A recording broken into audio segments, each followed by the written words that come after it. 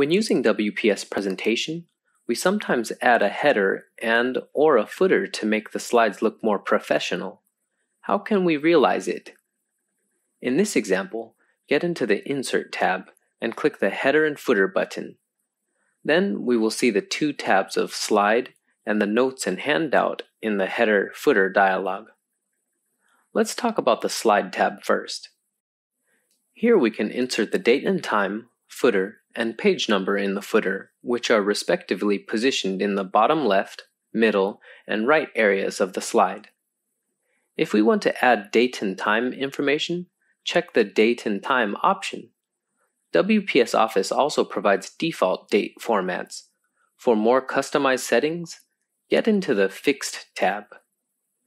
If we want to add certain text as a footer, click the Footer button and enter the corresponding contents in the input box. If we want to insert page numbers for slides, check the Slide Number option. Then WPS Presentation will number the slide pages automatically.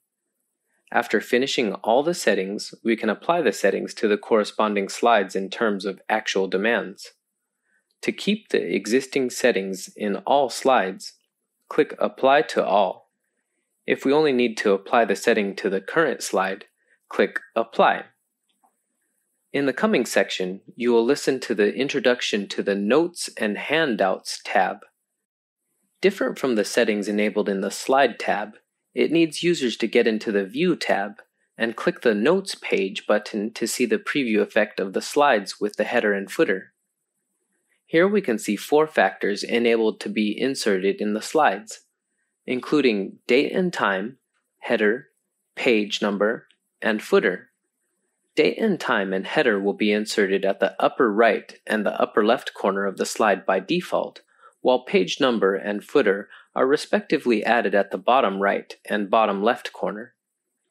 Click Apply to All to finish all settings. Here is the final effect of the slide inserted in the header and footer.